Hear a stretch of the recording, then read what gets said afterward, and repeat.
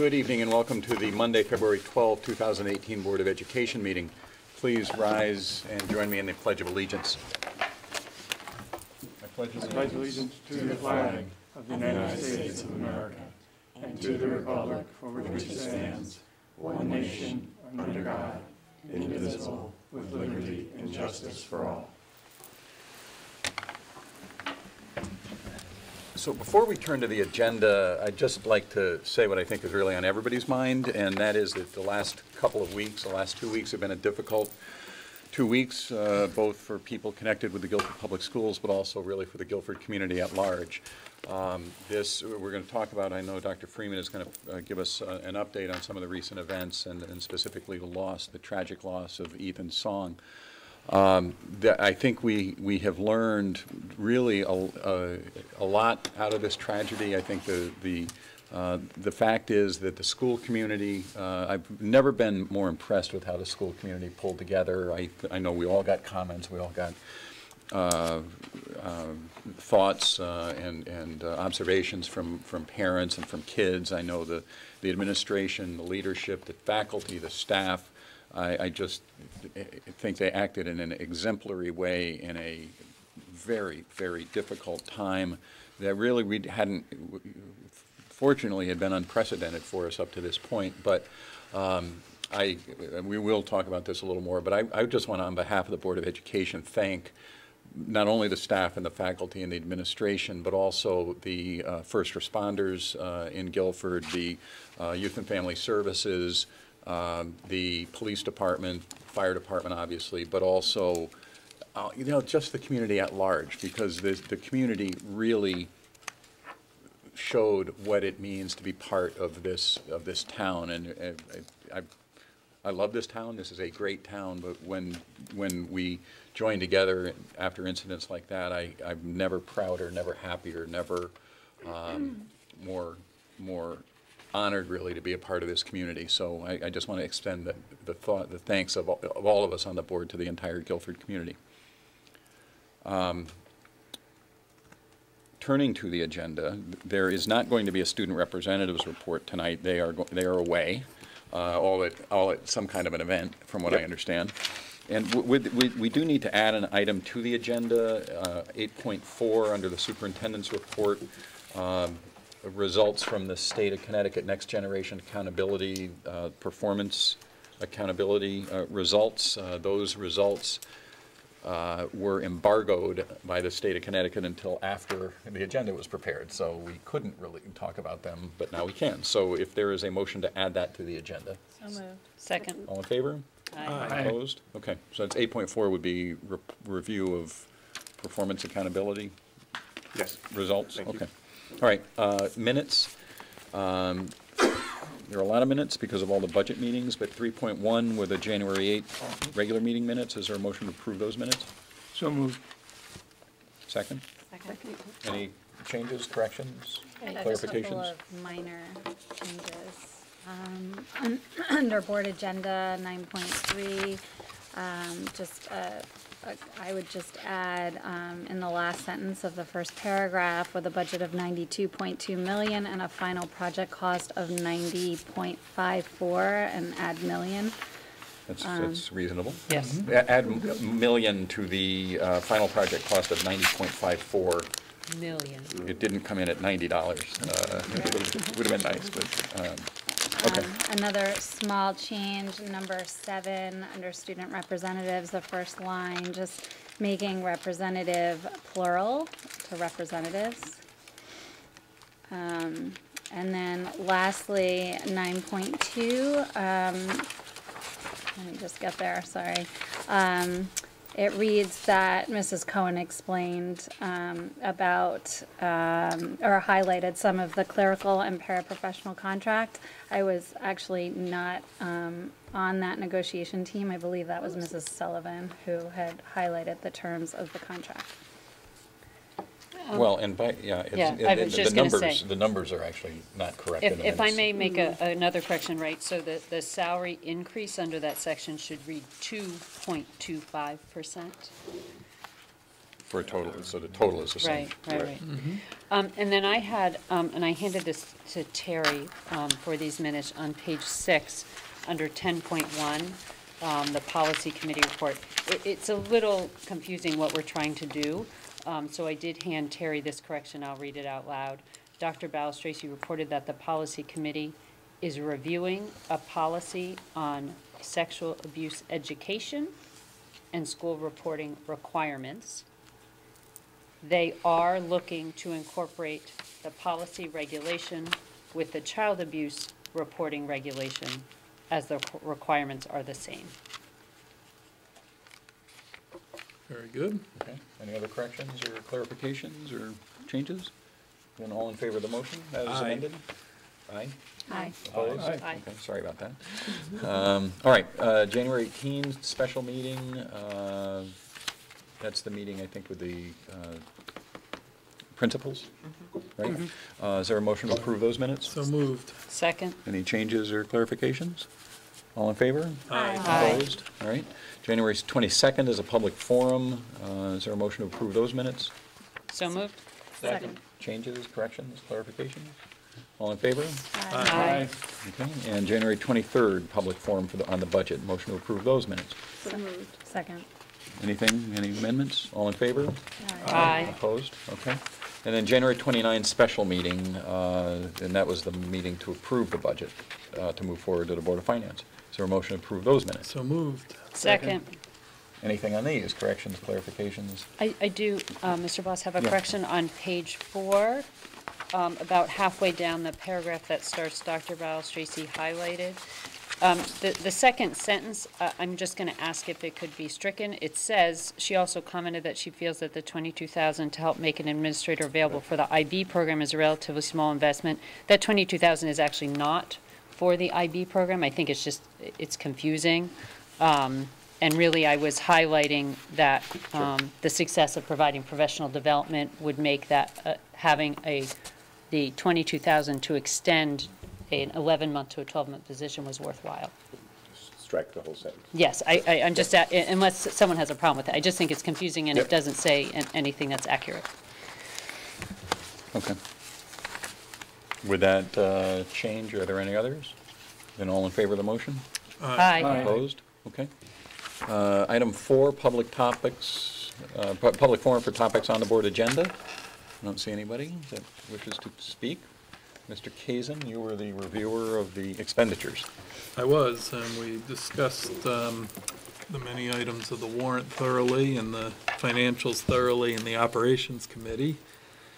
So I'd move that we uh, accept the warrant, which totaled $2,238,463.29 in payments within the total expenditures and encumbrances of $4,785,231.93.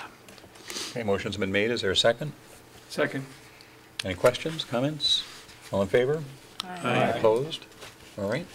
Uh, Communications, If I- I'd like to suggest if people had communications relating to the, um, uh, the Ethan Song, uh, just hold off on those maybe for when Dr. Freeman is talking about that, because I think we all got a lot, quite a few communications about that. Any other communications, though, that we want to talk about? Okay. Um, All right, then we're skipping over number seven, and then, so we're up to you, Dr. Freeman. Thank you, Mr. Bloss. Um, You know, I'll start by saying I'm not sure that I'm going to be able to say this any better than you did, um, but I did want to take a moment and recognize here, um, as we all know, on January 31st, um, Ethan Song died, a 15-year-old freshman in our high school. Um, And while we um, share our sympathies um, with the family and with Ethan's friends, and while we um, grieve for that loss, like Mr. Bloss, I could not have been prouder of our students or this school community, or in fact, the extended community in which, in which we reside. Um, I watched this community come together uh, around that loss and around that family. Um, I was enormously proud of the way that um, our school staffs responded. And I'd like to point out, not just the high school. Um, Ethan was a student in our school system from elementary school through. We had students who were grieving that loss at least at both the high school and at Adams. We had students who were um, shocked and saddened and confused by that loss throughout our school system. And we had staff members who had worked and taught Ethan um, at Melissa Jones, at Baldwin, at Adams, and at the high school. And so um, I watched this community rally around the people who were affected by that loss. Um, Our leadership, um, Principal Walker and Principal Macenti, nobody can take a school through a loss like that except for the school principal. And they both did exceptional work, um, both preparing and then putting their own emotions aside while they took their schools through the days that followed. Um, Our staff members uh, and our teaching staff uh, likewise set their own emotions aside and made sure that they were there for their children. And quite honestly, our students were exceptional. The way that they reached out to each other, uh, the students who stopped me in the hallway of the high school to ask me if I was okay on Thursday morning, um, they were um, they were mature, they were there for each other, um, and they supported each other. The community came out um, enormously. We had offers from every immediate neighboring school district, and we had offers from school school districts as far flung as Farmington and Montville, wanting to know if we needed support, did we need um, support staff, mental health staff in the buildings. Um, The uh, therapy dogs were a tremendous asset. What started out as one dog, uh, David Myers came with his dog Summer in the morning, and by lunchtime, we must have had half a dozen therapy dogs in the school. Summer had the support of Canine FR as well, um, and the students reached out. By Friday, we had a therapy dog in Adams as well as the dogs that we had here at the high school.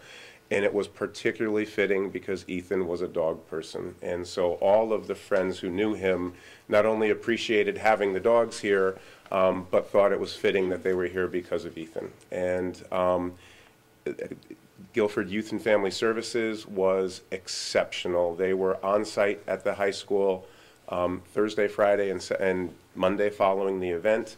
They opened their offices um, Saturday and Sunday, the immediately following weekend, to continue offering services.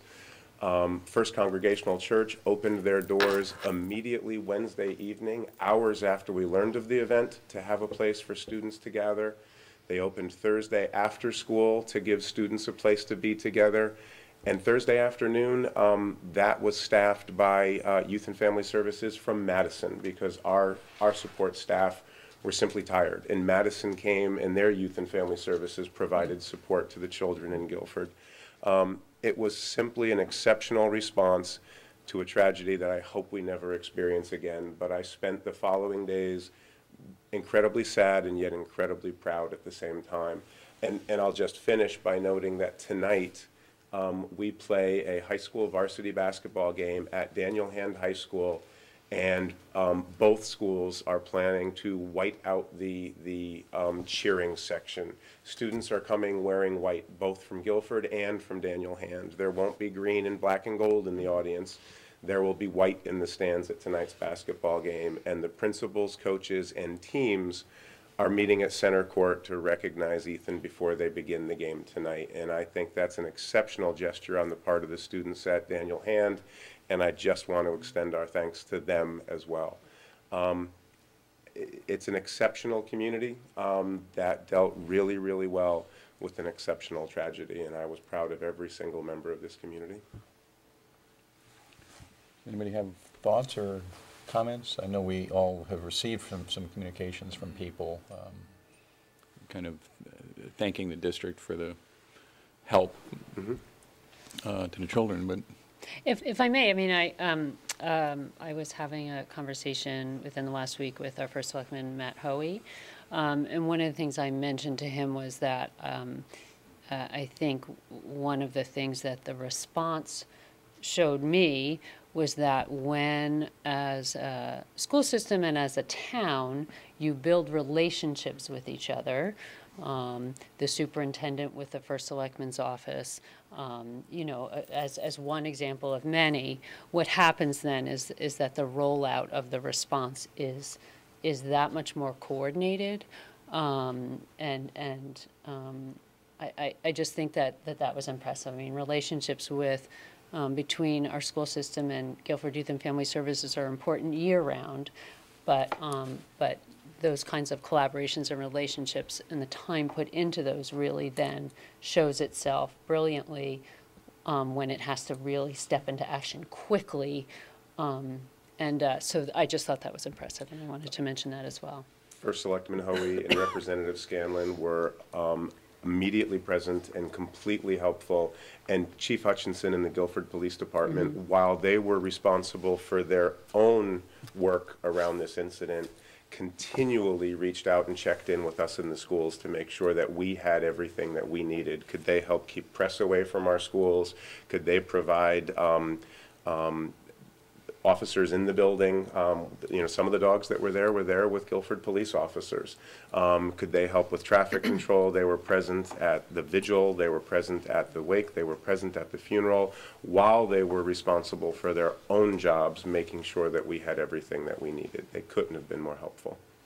I think most importantly, perhaps most importantly, were the testaments of the children that were in the schools and expressing their gratitude and praise for a job well done um, by the administration um, and the members of the community and jumping, you know, forward and, and having the therapy dogs on site and um, having support staff. Um, so that was um, it was just really great to hear and heartwarming, so. It's my understanding there's a petition to make summer full-time at Yes, our. I did, I did see that. I that. did see that as well. Yeah. And I, I want to just echo one thing you just mentioned, I, to, and to thank the press, frankly, for, Yes. for, not- Absolutely. for, for helping to uh, not uh, m- make it more, more difficult than it already was. I, I, I know the press has got their job, and we all value that, and we think that it's, it's a, it's a vital part of our democracy. But I think the press understood that there wasn't really newsworthy value in staking out the school and taking pictures of kids at, at walking into the building and trying to interview people coming out of the building. It would have just been, it would have just been too difficult. And so I really want to thank them for the, the, uh, the press for the discretion they used. Uh, It didn't have to be like that, but it was, and I think we should all uh, acknowledge that. And in fact, reporters like Zoe Ruse from the Courier asking if there was information about supports that we wanted to get out into the community, rather than asking if she could get quotes about how upset the students were. So members of the press helping us to get information out to our community, rather than getting in the way of us getting supports to our kids. Thank you for remembering that. Also, I think as a, as a board, we would be remiss if we didn't acknowledge Dr. Freeman for his Yes. empathetic leadership and being a role model for everything that you acknowledged with the town. Okay, well, so they, I guess let's turn to the, um, it's a little hard to really go to the just regular business after, uh, with, with that, but uh, just as the kids went to school the next day, so too do we have to kind of press ahead. Um, The eight point two is the whole, I, I think, Dr. Freeman, you've, ta- is to, is, you're talking about the stress anxiety update, and that is to kind of look, as we're trying to do more globally, is to look at not some of these things like the homework policy and the start times and, and Yes. transitions kind of as separate issues, but to try to uh, have some kind of a holistic review of what is it that we can do as a district to try to make uh, the the educational experience uh, more manageable, more, That's exactly right, and I, I did just want to update the board. I, I know that the board is aware that we have been looking at um, individual um, changes that we could make that would improve conditions here in the schools for students, like the homework review that we conducted last year, like the conversation that's been ongoing about the importance of appropriate sleep and start times for our high school students. But as we have engaged in those piecemeal conversations, I have come to recognize that from my position, I need to be looking holistically at the systems and the structures in place and whether they help to insulate students from stress and anxiety or whether they contribute to student stress and anxiety. Um, we know that young, that young adolescents, that young children are experiencing increasing rates of stress, anxiety, school avoidance or school phobia, and depression, not just in Guilford, but across the nation. And so, um, in my mind, um, I want to work hard not to look at individual pieces of a puzzle, but to try to understand the full puzzle. And so the first and maybe the biggest component is that we've been having a long conversation in this community about sleep. We know that it's important. We know that it insulates students from stress and anxiety and depression, and that's one of the pieces that we need to continue to pursue. But I don't want to get lost in the conversation, the fact that we're also looking carefully at school structures. Uh, we're looking at um, the ways that we talk about grading and the ways that we talk about achievement and how can we do that in a way that sets high expectations but is healthy for our students. We're looking at in-school supports. How do we identify students who are struggling with stress, anxiety, or, or school avoidance? How do we identify them early and how do we support them and help them to um, address those concerns and work through those concerns?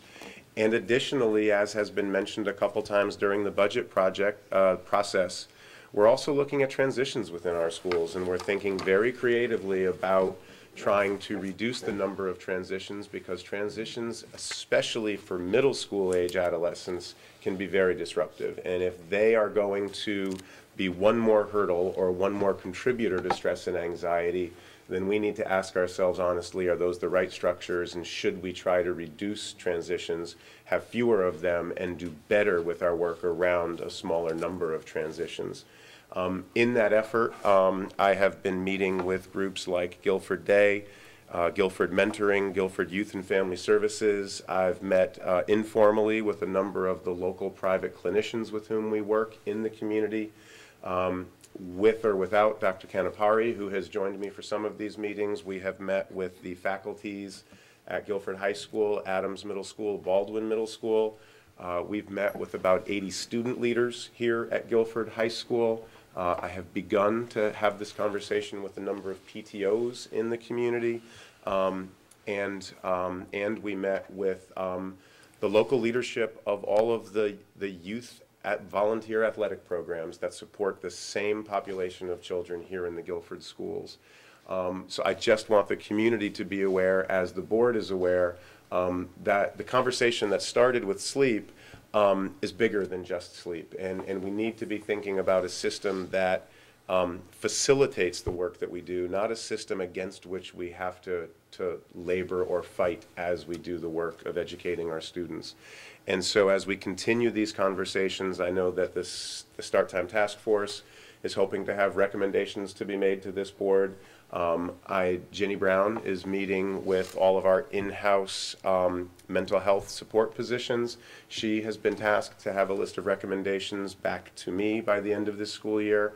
And as recommendations around those various topics come together, I, I want to assure this board and this community that I will work to always present those as part of a full environment that strives to be healthy and tries, strives to support our students rather than an environment which contributes to the stress and anxiety that we know students are laboring with um, in today's, in today's world.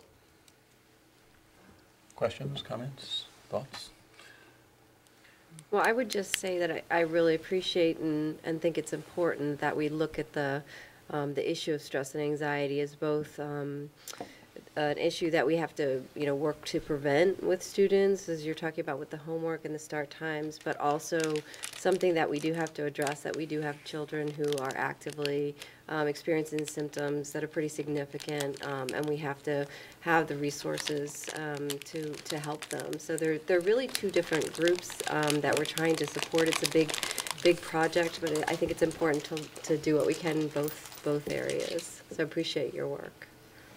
It's an important conversation. We'll have more on that moving forward. Well, And just to put it out there so it's really clear, when you talk about reducing transitions, that, that is changing this, the alignment in grades five and six and seven and eight, and so that Baldwin would be a fifth through eighth grade school for, for the, maybe the Lakes and the, maybe, the Lakes and the Jones District, and Adams would be a five-eight school for the Cox and the Leete District. Now, before anybody says, oh my gosh, what are they doing, th- that, this is a, a topic of discussion. This is a Correct. possibility. This is not something that we've decided is a good thing to do. There is obviously, I think we all understand that whenever any kind of a change like this uh, is con- contemplated, that we have to get out and talk about it and see what, see what people, thi- see if people think it's a good idea or not.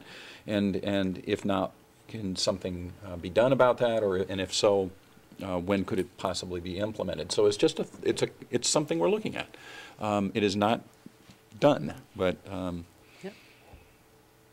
It's an idea that I think merits further exploration. And we're at, when it comes to uh, restructuring of the middle schools, we're very much at the beginning of that exploration. When it comes to thinking about start time, we've done some good work and are further along in, in that particular item. But I, I, I have come to understand over the last several months that all of these pieces need to always be discussed as parts of a larger environmental whole and not as any individual um, standalone panacea, because I don't believe that there's one standalone panacea. Okay. Um, Do you want to just update us on where we are on the, uh, both the town budget and the state budget? So locally, um, I would start by simply, again, thanking Mrs. Trudeau and our budget office for the work that they put in, and thanking this board for all of the work that you put in in finalizing our budget um, on January 29th. Important for the community to know that now that the Board of Ed has a budget for this year moving forward, um, that later this week, on the 15th, Mr. Bloss will be sharing that budget with the Board of Finance at, at their meeting. And on March 6th, it is important for the community to realize that that would be the first public hearing, the Board of Finance holding their first public hearing on both the school and the town sides of our budget as those move forward. Um, And Mr. Bloss and I will both be there on March 6th to present the school side of the budget, to answer questions from the Board of Finance, but I think most importantly, to answer questions and to hear comments from the community. Um, We have had really, um, really positive community support and involvement in this year's budget process. I think more than I've seen in past years.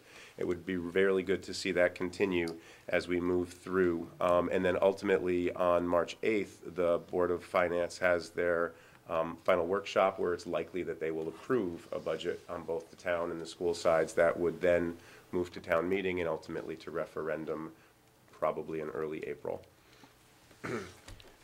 Correct. Along with that, it's important to note that there has been some press time um, spent at the state level uh, on the governor's um, budget proposal. So the governor has made suggestions around the budget. Um, The governor's suggestions include further reductions to ECS, the Education Cost Sharing um, Grant. Um, So at this point, um, we know that ECS has been reduced and that we'll be receiving fewer dollars than we have received in past years. But again, to Guilford's great credit, um, that figure falls within the adjustment that the Board of Finance made to their anticipated ECS revenues last year. The governor has suggested an additional $290,000 reduction. It is only the governor's proposal. It has not been approved by the legislature.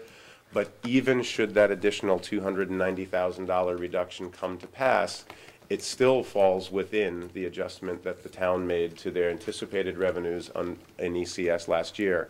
Now, I know the town has lost other revenues additionally, so while it falls under the reduction they made to the ECS, it probably doesn't cover all of the reductions that the town experienced overall. So as we move through this budget process with the Board of Finance, it will be important for us to participate not only in the side of the discussion around our operating budget, but to be available to answer questions and to discuss the revenue side from the, the state into Guilford as that budget moves forward this year as well. We'll continue to monitor those discussions in Hartford. I don't think it'll be a full 290,000 additional dollars, but we'll need to continue to monitor that. I, I did talk to Representative Scanlon briefly uh, over the weekend, and he, he reminded me that a year ago, when we were talking about the governor's proposed budget, it zeroed us out, and that would have been a $3 million hit, and we wound up having about a two point, or getting benefit, approximately a half a million dollar hit uh, when we budgeted for a million. So he, he urged uh, patience and calm, uh, and uh, so While it works we should, do- we should do that, yes. And for the last piece of my report, I just want to note that on Friday, um, the state released the, the accountability report um, for the 16-17 school year, and I will turn the remainder of my report over to Dr. Keen, who will share uh, that report and those results with you. Thank you. Um, as Dr. Freeman stated, we did have these results a couple, for a couple of weeks. We've been looking at our own data, but it wasn't until Friday that we could see everybody's data and have a way to uh, look for reasonableness. So we've been doing some work over the weekend, and uh, we're happy to share some of our findings with you. First of all, uh, just as a reminder, accountability systems um, are for, you have several purposes. One is to track progress and help us make uh, improvements, show us where our support is needed most, uh, to recognize success, promote transparency to the public, and to satisfy federal and state requirements as part of the E ESSA um, laws.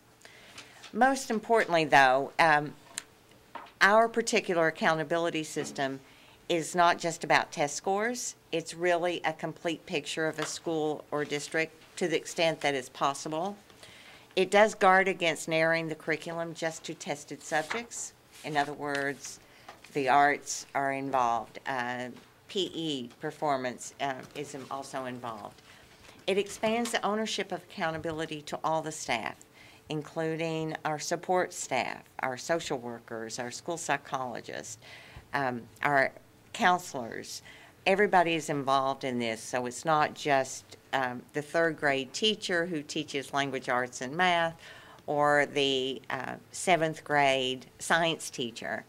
So it becomes a school-wide project. And it is, it encourages leaders not to view accountability as gotcha, but as a tool to guide and track our efforts. So the state looks at 12 indicators, and this, they collect data on our performance in science, language arts, and mathematics, our growth in those areas, our participation rate, our chronic absenteeism, which is defined as students who miss more than ten percent of a school year. Coursework for post-secondary and career read- readiness, which could be things like um, vocational courses, or it could be AP, or um, college, you know, some of our um, classes that also are- have college credit. The exams or the actual results of those courses, gr- our graduation rates. On track in ninth grade just means that they have passed at least five classes. Our post-secondary entrance rate for two and four-year colleges, physical fitness, and the arts. So those 12 indicators, we really have to pay a lot of attention to. Those that have a little H beside them means that not only do they we're looking at the um, data for all students, but we're looking at the data a second time for just our high needs students. And high needs is defined as students with disabilities, students who are eligible for free and reduced lunch, or students who are English learners. So that cohort of those three categories uh, becomes a second look. You have a copy of our report, which um, I'll tell you a little bit more about, but this is our report. You can see that the index or the rate is um, actually how we performed. Uh, These are the targets. And this is a number we really pay attention to because this is the percent of the target or the goal that the state sets for us. So you can see they were expected to get at least seventy-five percent of performance on all, but we're expected hundred percent of growth. Now, the growth is individualized for every student, so depending on their scale score, they had a growth target and what should be reasonable. Some children exceeded their growth target, some did not, uh, actually went backwards, but we were hoping for hundred percent, an average of hundred percent uh, to exceed. Then you can see some of the other indicators, and they're all numbered here. You'll see three is missing, that's the participation rate, and I will show you that in a second. You can see, for example, in 4A, chronic absenteeism, all students, we want to be less than 5% chronically absent.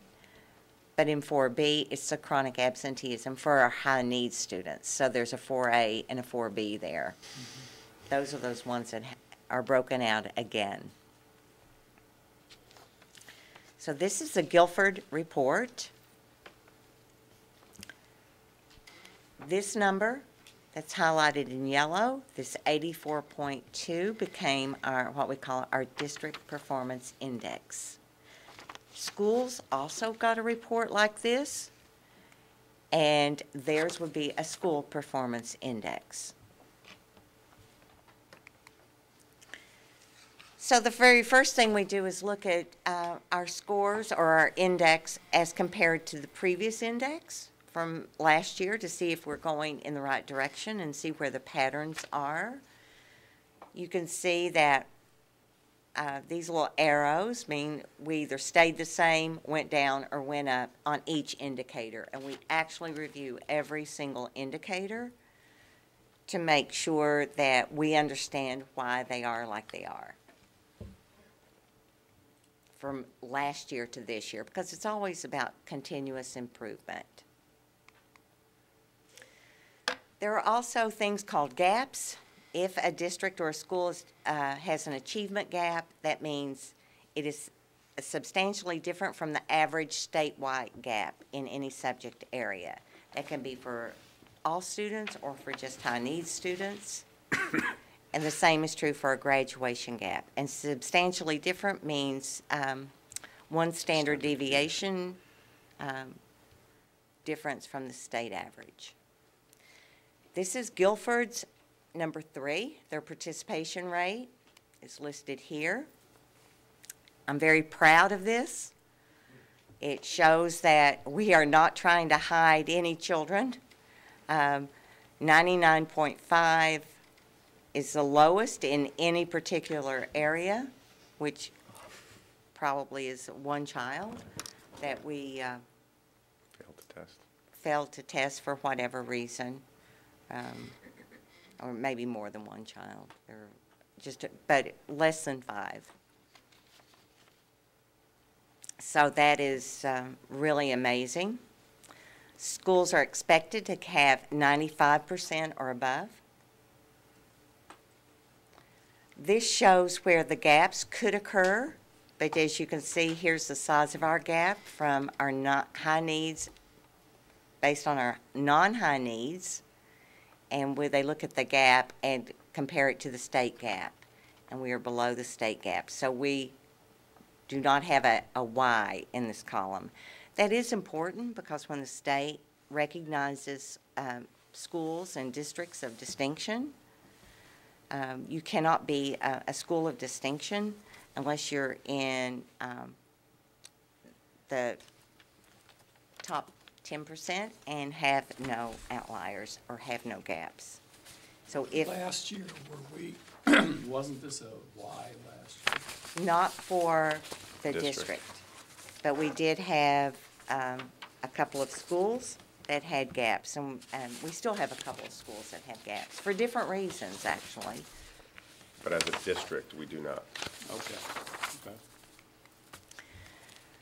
So, um, this is a, a slide that, um, I, it always scares me to, to look at this because it is comparative data and it's relative. It's still not at hundred percent. But when we look at our district reference group, which is District Reference Group B, and these are all the, the schools or districts in our dis- district reference group, and this is their district performance index. And you can see Guilford is number two in our district reference group. Number one is Greenwich. Greenwich. But you'll notice that some of these have an asterisk. Those districts with an asterisk also have an achievement gap as, as the district level. Okay? At the district level, mm-hmm. Yes. okay.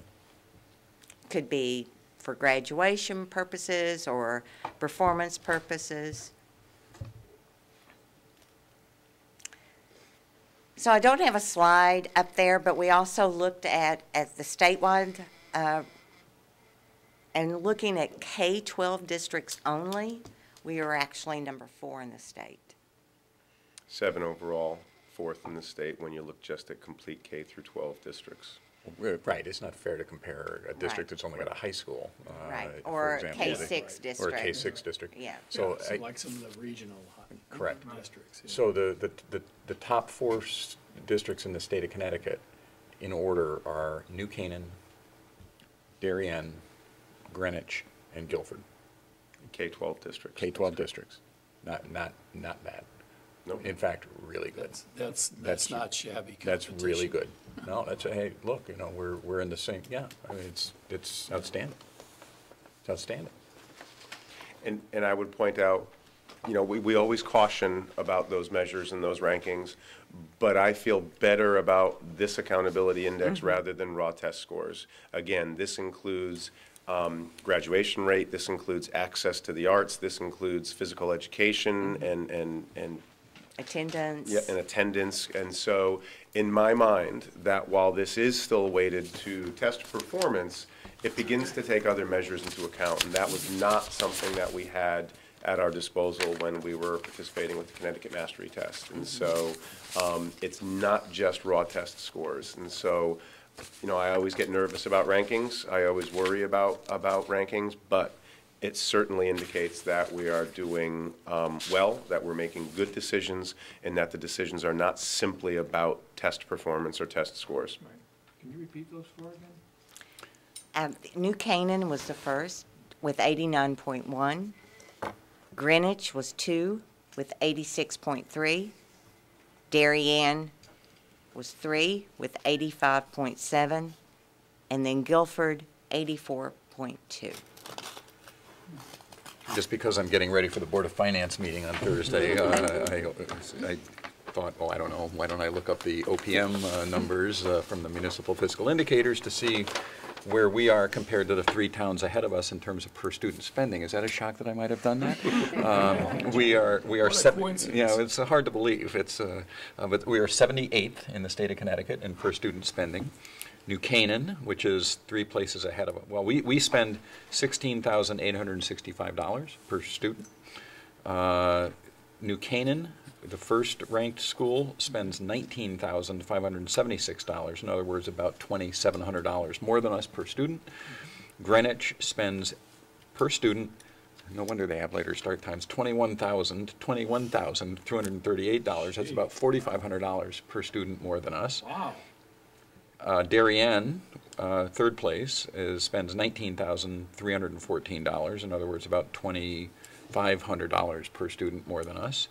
And then there we are in number four. So, um, the town right behind us is Farmington, they spend a little bit less than us, but it's very close. So, uh, no, I think this, this is, in terms of return on investment, I think this is pretty compelling, uh, data. Um, if we were, uh, if, if, if, if we had the- the extra four thousand or forty-five hundred dollars that Greenwich had, that would be, what, somewhere in the twelve million dollar extra in our budget range, uh, something like that. Uh, so this is, uh, you know, for the, for the return on investment, I think this is out- outstanding. Can A I lot of- ask Oh, Can go I ahead. ask a question, uh, Dr. King? Um, I'm looking at this schedule that you handed out, and the, it talks about uh, ELA average percentage growth target, all students. And we were fairly low on that, and then also the same growth target for high-needs students, and we were exceptionally low on that. What are they talking about here? I mean, what, why, why are we troubled? Well, um, first of all, it's about individual growth, and there, each student has a growth target. And so when they say, okay, this was the average growth target for all students, and how many achieved their target. And so on this one for ELA, sixty-two percent of our students achieved their growth target. Some of those students would be students who are already performing at the very Yes. highest levels of the test, and therefore their area in which to be able to grow is, is, is minimal. Yeah. And so it weights the growth of students all across the spectrum. The old system mm-hmm. only measured moving students from, from a low band into an mm-hmm. acceptable band. This says that even your students who are performing at the very top of the very highest band, there's still an expectation that those students will continue to show growth. It gets very hard to measure where you're at the very top of the mm-hmm. scale. Hmm. And uh, you can see that also last year, we were very high in ELA and not so high in math. We put all of our efforts into mathematics and we really started focusing on it. And one of the questions we're asking is, did we let up? And so that's one of the things that we're really looking at um, and looking hard. Even though our performance in ELA is still high overall, our absolute performance, did we grow enough? And so growth counts about forty percent, from forty to forty-five percent of the total accountability index. Hmm. Growth counts much more than absolute performance. To us, that is again one of the improvements of the SBAC compared to the Connecticut Mastery Test. It's not just about looking at the students who are on the fence between one band and another. It's not just looking at students in the lowest tier and trying to move them to an acceptable tier. We have an obligation to every single child, regardless of if you're at the very top, um, to make sure that they're experiencing individual growth. And we think that this is why this is a better assessment for Guilford than the CMT was. Can I ask a question? This is um, uh, collated across the whole district. Were you able to look within, we'll say, elementary schools, middle schools, and high schools? Were there any outlier, I'll say outlier schools? Was there areas that were maybe pulling some of these numbers down, or was everything pretty consistent across all um, developmental We levels of didn't schools? look across uh, groups. Yeah. Like elementary versus middle Right. versus high. Yeah. Uh, And because they're really not comparable. Uh, Mm-hmm. When we go back to those 12 indicators, they. Elementary only, is Yeah, only only measured on has four of maybe- them. I see. And I high see. school has all 12. I see. And however, each principal has their own reports. And I am having individual meetings with every single principal to go over their data, to look at it carefully. Tomorrow, I'm meeting with all four elementary principals that we can talk about what are elementary measures and what are we doing about it now. One of the things that I think we can attribute to um, our good performance is that people are really paying attention to this. Uh, Not in a bad way, but in a way that says, this is important and we need to pay attention to it. Um, So I can't say that there is a particular outlier in a particular area, but we're certainly having lots of meetings about that now. And uh, they're really, uh, you can't really compare, for example, you can't compare a Baldwin with an Adams. They don't even have the same indicators because there's some eighth grade indicators that Baldwin will not have. So, but we are looking at each individual school. Um, Here is the school's report so that you can see how each school fared. And, and it's, this is public information now, and I'll show you where everything can be found. You can look at every school in Connecticut. So, um, we do have two achievement gaps. Uh, one's, one at, uh, Cox Elementary School and one at Guilford High School. Because those are, um, uh, gaps, that puts them in a category two automatically. Calvin Leete, Melissa Jones, uh, Guilford Lakes, and Adams um, are all considered category one schools. And just want to make sure. But it's I put worth this- noting that Cox, Jones, and Lakes essentially have the same accountability index, but Cox is still identified as a two, not a one, because of the existence of a gap when you look at the high-need students compared to the rest of the population. And so the numbers can be different than that ranking. Again, Greenwich outperforms us on the index measure, but has a mm-hmm. gap and we don't. And so there's no direct correlation. Correct. Can you explain why Baldwin seems to be the outlier here? I mean, you said that they have different indicators, but Uh, Baldwin doesn't have different indicators, but that's what we're looking at now. We know that um, there's, there's a big jump between fifth grade curriculum and sixth grade curriculum. Um, And you know, we're meeting about that now to try to figure out, okay, what, what is going on? Why is that, uh, report as it is? Um, Is this, is, is Baldwin's, um, score l- l- worse than last year's? I would have to go back and check. I'm not for sure. Okay. Uh, I know that they had some major changes in the, in the near past. Uh, Their schedule changes would be Right, we have to go different. back The and- way they structured classrooms would be different, but we're taking a good look at that now. I met with uh, the Baldwin principal and assistant principal this afternoon. So they, you know, just from the news reports, there were three quarters of the district and, districts in the state where the scores went down. Down. And that strikes me, I don't know, you're, you're more into statistics than I am, but So it strikes me little that that's, well, that that's a that's a, setting the goals differently uh, in Yeah, year no, two, no, that- there, right? there's a, I- right, that, that doesn't happen by itself. No. But Ted, that's exactly the sort of question that we ask. And so when this data comes back to us, we then sit with the principals, the principals sit with the teachers. This should give us good questions to ask. It shouldn't give us any answers. It points us in certain directions, and then we need to make thoughtful decisions about what we find. And Dr. Keene, is um, the reason Baldwin categorized as two because they're below a certain performance? Okay. Okay. Uh, Category two um, are in the second quartile Or with the existence of a gap. or with Or with existence But of- Baldwin doesn't have the gap. No. So, yeah, they're in the Right. second quartile. No. Uh, It is worthy to note, and um, this is also in the press release, uh, three of our schools were um, named schools of distinction, and that was Calvin Leete, Melissa Jones, and Guilford Lakes. Um, In fact, there were two distinctions given to Melissa Jones and to Calvin Leete for highest growth and um, for highest performing. So what are our next steps? Like I say, um, I'm having individual meetings, uh, with principals. Uh, Paul and I have had many meetings. Uh, we are scheduling our spring, uh, assessment administration. One of the things we want to do differently this year is, uh, last year we changed, we did math first. Our math scores went way up.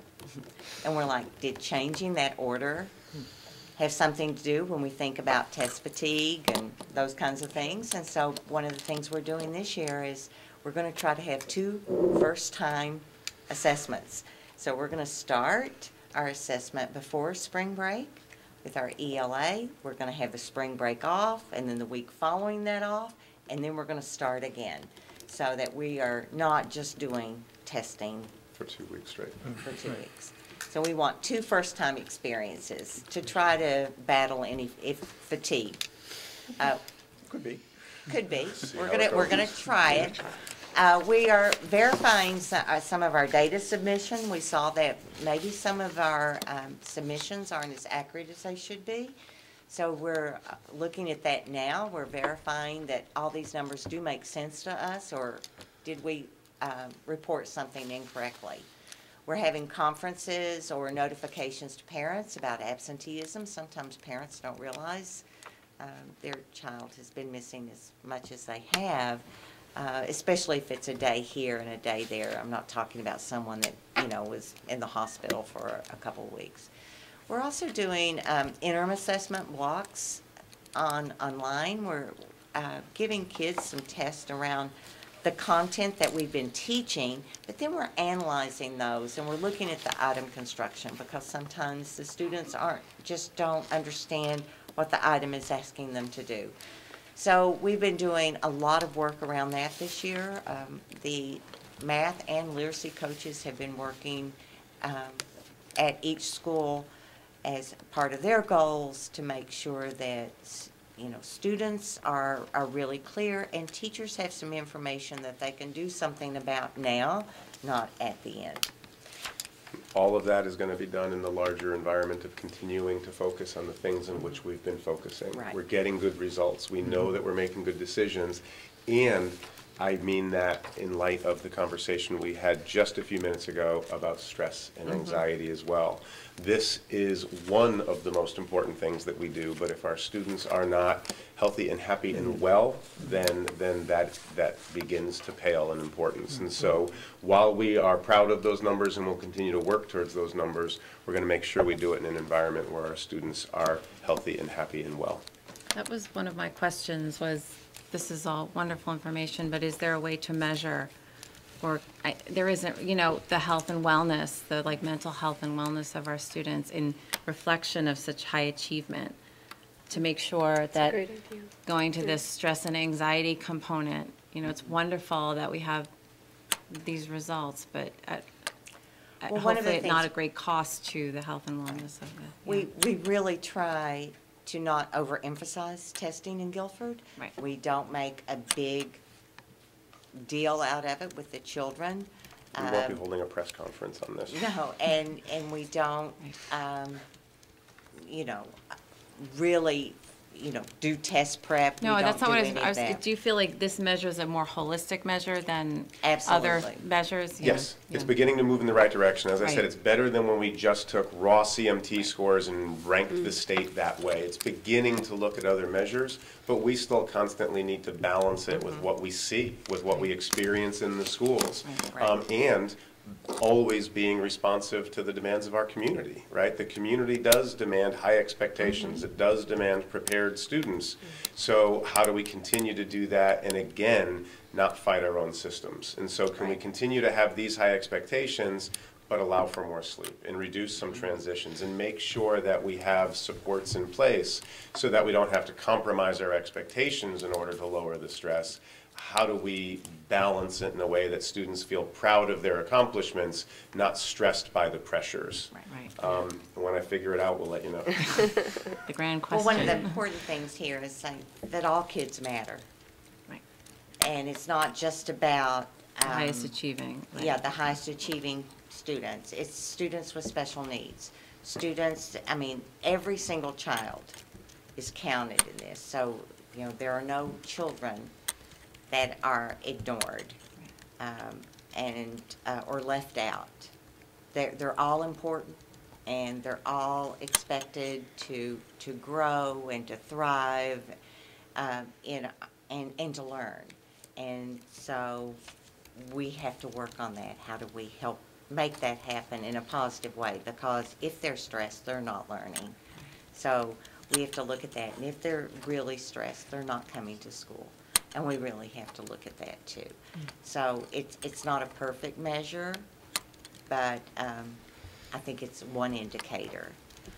All of the information that I've shared with you, plus a lot more, is at edsight.ct.gov. That is where all the data and statistics and reports for the State Department of Education um, is housed, or are housed. And you can see all of the schools and districts there. Can we get a copy of this presentation? Yes, you may. I'll send it to you today. Yeah. And the curriculum committee may want to look at this a little later in the year, um, when we've got a little more data and a little more um, review of it. Just a suggestion.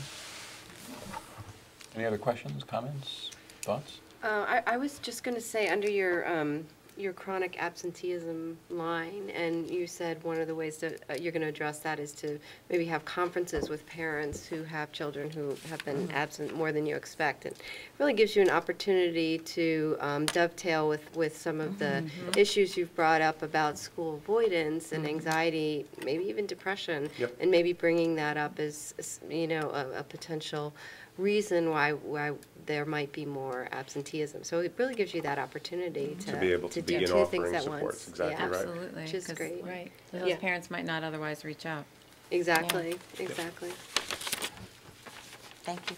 Okay, any, Thank you. anything else? All right, and I think, we you know, we can talk about this later in the year, I think, when we have some, some more information, when you- when you've had a chance to uh, look at it more, so, uh, but again, terrific, Uh, it's, uh, it wouldn't be a shock if we mentioned this at the Board of Finance meeting on Thursday. Uh, It'd be a shock if you didn't. Yeah, it would be. Uh, All right, next item on the agenda is, we're on the board agenda. The 9.1 is to act on a personnel item, uh, ratify the appointment of Nicole Carangelo, grade three teacher at Cox Elementary School. Is there a motion to, I, I just want to note that this is uh, a position for one year only through the end of the school year. It's to cover a medical okay. absence. Is there a motion to ratify Ms. Carangelo's appointment? So moved. Second? Second. Any discussion? All in favor? Aye. Opposed? All right, You- you have a new teacher. Um, 9.2 is, uh, is uh, to review, receive for possible action uh, the uh, bids on uh, transportation for um, regular education students for the 2018-2019 school year and potentially beyond. Um, Do you want to, how do you want to, do you want to summarize what the bids were, or, we, we did talk about this quite a bit in the operations committee meeting. Do you want to Uh, sure. I, well, I- if you have it uh, up there, maybe you're best to, I don't have it open right now. Let me. Sure, I have it in front of me. I'm happy to just briefly note that um, uh, our current contract for bus transportation expires at the conclusion of this school year. Uh, We put the bid out for um, public bid. Uh, We had um, a bidders meeting. Uh, We had some significant level of interest. We had five companies attend the the bidders meeting, uh, but ultimately, we received only two bids um, on our contract. Um, After reviewing those and discussing them with the board, we met with each company. We asked the companies to reconsider the bids and to give us alternates. Uh, We asked them to improve their bids, uh, and we asked our um, incumbent company to price out a one-year extension on the existing contract as well. Um, You have um, an exhibit in front of you um, that lists STA, the incumbent um, company. It lists their original bid. They came back uh, with an option one and option two that improved the numbers on their original bid. You have those in front of you. You also have their proposal for a one-year contract extension. And additionally and finally, you have the original bid that we received from Specialty Transportation Incorporated. Uh, Upon meeting with them and view, uh, reviewing the requirements of the bid, they chose not to revise their initial um, bid but their initial bid remains more favorable than uh, the original or either option one or option two as revised by STA.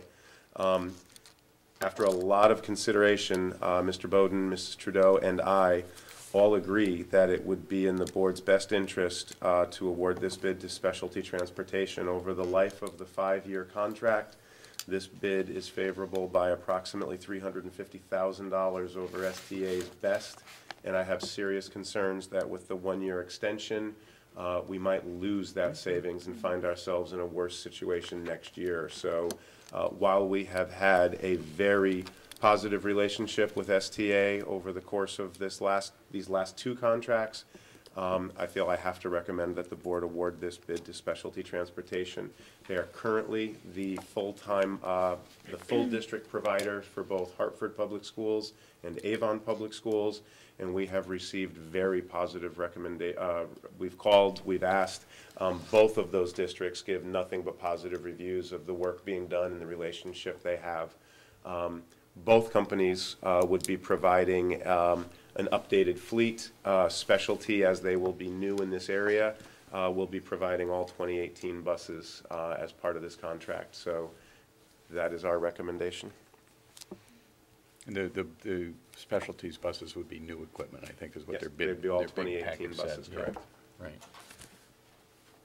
Well, I mean, you've worked hard on this, and I know we were disappointed that we only got two bids, uh, and, and I, know that there's been some question in the community as to why did we only get two bids? Well, I can assure you that it wasn't anything we did or did not do. That is just what the market chose to respond to these bids. And I don't know whether that they thought that STA, whether other bidders thought that STA was going to do what they needed to do to keep the contract, or that if, if, if there just wasn't interest because of the capital-intensive nature of the, of the service, don't know. Driver shortage. Driver shortage, right? And, and and to make clear, specialty is a significant increase over what we're currently paying for buses. We are currently paying well below market value.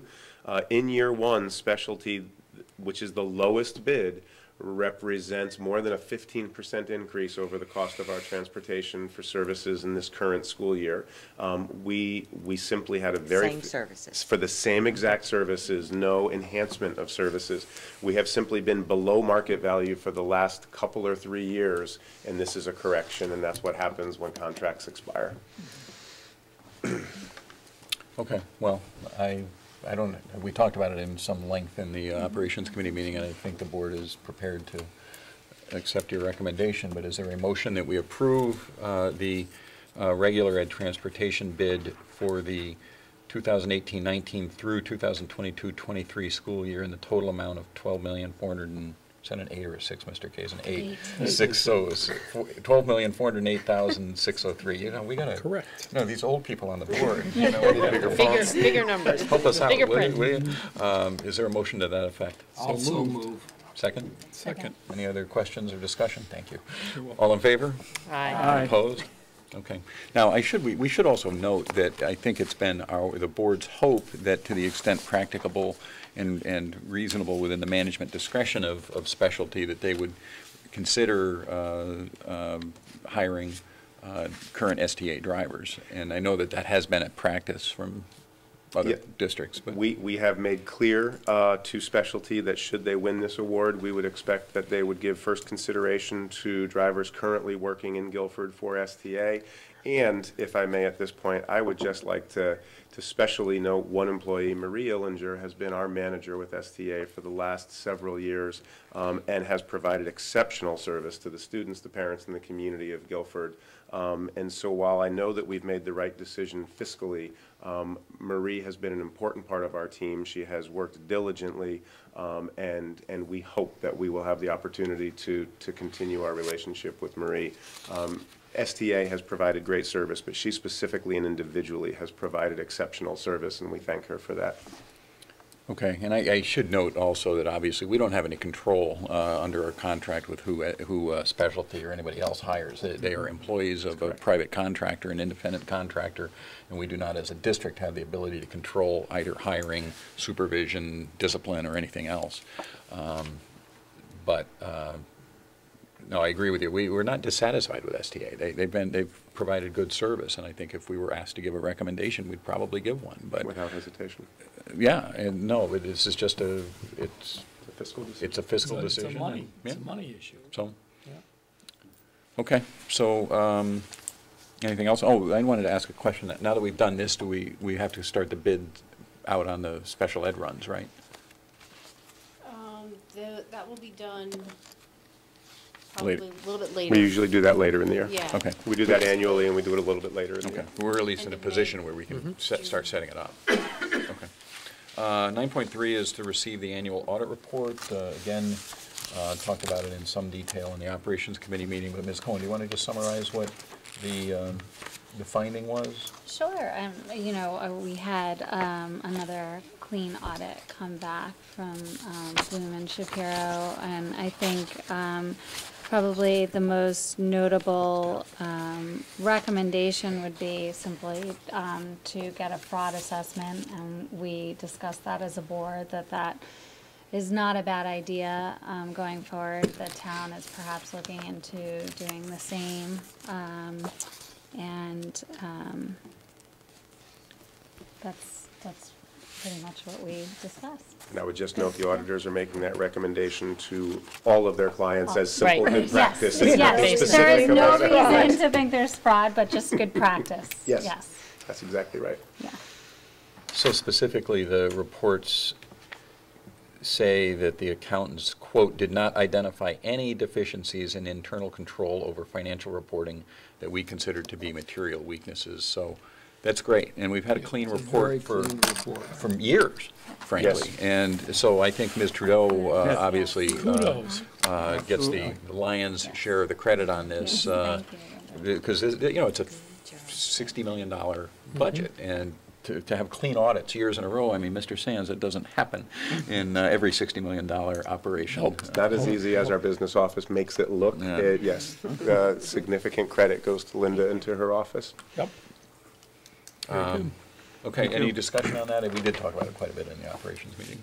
Um, 9.4 is Mr. Doe has asked for a kind of a cash flow budget transfer request of a transfer to special education tuition of $75,000 from the teacher salaries line in, in the amount of $75,000. Is there a motion to that effect? So moved. Second. Any questions, comments? All in favor? Aye. Opposed? Okay.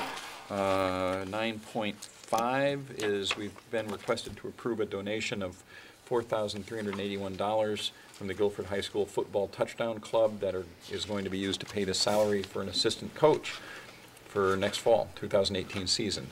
Um, Is there a motion that we approve that donation? So moved. Second. Second, any questions, comments? All in favor? Aye. Opposed? Okay, with our thanks, I'm sure you will With our thanks, and I'll note that we know that there will be questions on assistant coaching stipends for you Thursday evening at the Board of Finance. It would be a great reminder to remind the Board of Right. Finance how often our booster clubs pay for those expenses. Very good. 9.6, in the same or similar vein, is uh, to approve a $1,580 donation from the Guilford High School Fencing Parents Booster Club, and these- this is for equipment, it looks like, and I'm not going to, I have no idea what any of those Well, things well, are. I, they- uh, and in fact, uh, if I may, I am going to um, mention um, what one of them is, because there's a typo here. Um, The, so, uh, there's the George scoring machine, so these are scoring machines that are used um, um, not only in practice, but at tournaments, um, that are um, quite important to the, um, to the, to the bout, and, and to which um, the fencers are literally connected, um, because it's an electronic scoring machine. Um, The one thousand five hundred and eighty dollars is for a conductive fabric strip. Strip. So this is um, the strip that, that the, the students, the athletes fence on. Um, And what it does is for two of the three weapons, uh, the foil and the epee, it um, prevents a, a touch when it hits the ground. It prevents it from setting the machine off and stopping play, um, uh, falsely stopping play. And then the third is two floor reels, which are Keeps you from tripping on the cord to which you are attached. well, no, no, no, right, sort of, right, right. They hold the cords to which you're attached and, and, and release and, and, um, and give the, the fencer flexibility moving forward and back. Um, I can tell you, having gone to uh, several large tournaments recently, um, one of the things that um, a lot of the teams do um, is not only um, do they have these equipment, but they will bring pieces of the equipment to tournaments, because no school has enough. So that when we at Guilford High School held the novice fencing meet um, uh, several weeks ago, we have other schools who will bring some of this equipment to try to help share all that. But they're, they're a pretty significant piece of equipment in, in, uh, in play here. So But it is take is a that's- s- a strip, not a strap. I take it that's a motion, then we approve. It is, accept it the is donation. absolutely a motion. Second. All, any other discussion? All in favor? Aye. Opposed? Okay. Uh, 9.7 is to act on a, on a grant application, a Title VI grant application in the amount of $10,000 to provide additional school-based mental health services and counseling at Guilford High School. This would be a federal grant? I That's take it? correct. Okay. So is there a motion to approve this uh, grant application? So moved. Second. Any other questions, comments? All in favor? Aye. Aye. Opposed? All right, You're doing better. And as we do not have a grant writing position, I would just like to extend our thanks to Dr. Keene, who spent significant time putting this grant together very quickly once we discovered that it was available. Thank you very much. Great. Thank you. Thank you. Uh, Item 10, committee reports, policy committee, anything happening? Uh, The policy committee is meeting in two weeks, so we will have much more to say after that. Okay. Operations committee, uh, we've talked a lot about, We talked, we did our, the, discussed the new bids for the busing. I do think it's worth noting, um, that, uh, Ms. Biagetti presented us with some exciting things coming down the pike for food service, um, namely for next year, um, but, um, things to look out for in the schools. And it's probably worth noting, uh, dare I note, that, um, there, the turf field is, Yes.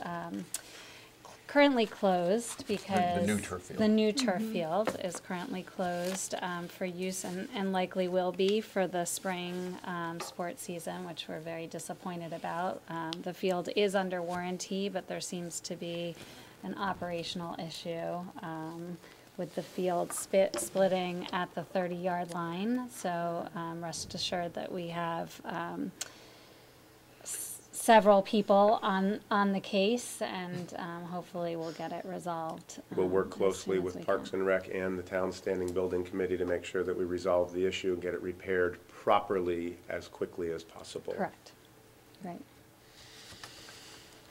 Okay. Uh, Curriculum committee?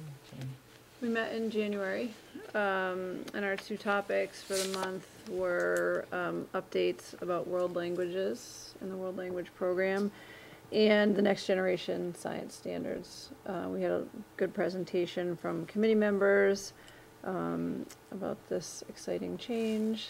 And one of the biggest, um, changes that we'll see this year is we're gonna pilot the new test that will replace the CMT science that we've been doing for a Oh, long okay. time. Great. Exciting. How, how did that happen? How did, how did, were were we chosen to pilot? No, it, everyone is, it's actually a field test. Oh, okay. Last year, there were some pilots. This year, everybody in the state is going to take the next generation science standards um, aligned assessment, which I think will be good for Guilford because then I think it will become very real to teachers once it's on the state test. And right now, it's still kind of this vague thing that's out there. So it gives a new sense of urgency uh, a little bit for changing from knowing science to figuring out science and, and behaving like scientists. So uh, that's exciting. It, it does change this year to 11th graders, which is different because in the past it's always been 10th graders taking CAPT. Now it's going to be 11th graders in the next generation science standards, but we will, we will not receive scores this When- year. May I ask when, I mean, so that's, a- they, they take the SATs in March or April, when does? March. Is it, co- do- I, I'm- I'm not asking for a date, I'm asking generally, do we know? Yes, we know. That was on the calendar we had in front of us today. I know, I don't have the date right in front of It's me. not The hugely s- important, I'm just The- it's aware of not how much designated. testing happens at junior year, Yeah. outside and inside school. It is not designated by the state like the SAT is. Right. So the, s- the school gets to choose the day. Oh, interesting, okay. And so uh, they've already selected a day. They've been considering any other conflicts. I believe So, it's in April and SAT day is in March. Okay. yes. Definitely SAT day is in March. Okay. Anything else on curriculum? No? Uh, town committee liaisons, any, anybody? I, I always um, mention this here, and it's not really a town committee, I just don't know where else to put it, which is the um, uh, Health and Wellness Committee, which is a committee within the district, um, um, which is uh, headed by um, uh, Jill Rabin, one of our deans here at the high school, but includes teachers, um, including physical education teachers and community members and Board of Ed liaisons. We met um, in the past couple of weeks. Um, One of the things we have been working on is looking at the forms that teachers fill out, um, asking permission to use food in the classroom for curricular activities, and then the report form that comes from each of the um, principals at the end of the year, kind of compiling information and reporting back to the committee. Um, So we were looking at these forms to try to make them, um, A, more user-friendly, and B, kind of provide useful, useful information, which will then eventually come to the board, but also will, um, instead of being a simple kind of reporting of what happened, um, be a way for the district leadership to look at what's going on in their schools and perhaps um, improve where they need to improve, um, but also recognize where things are going well. Okay. Any other town liaisons? No, All right, nothing to report. all right. Um, Learn Board of Directors, somebody go? I did. You I did. attended the most recent, and um, we had an interesting presentation by the East Haddam Superintendent of Schools, whose name is escaping me, but I'm looking on Google. Brian Reas. Brian Reas, uh, who presented um, the STEM efforts in uh, really K through 12 at East Haddam, an interesting presentation. And um, and that's about it to report from that meeting. They look forward to seeing a revolving group of us, I explained that they'll see a fresh face, had the opportunity to see a fresh face every month. Okay, well, thanks for going. That's, that was Yes. really good for us to try to do that. Yep. Okay. Uh, Public questions? Anybody? All right, then uh, is there a motion to adjourn? There is. A second? Yes. All in favor? Aye. Opposed? Okay, thank you very much.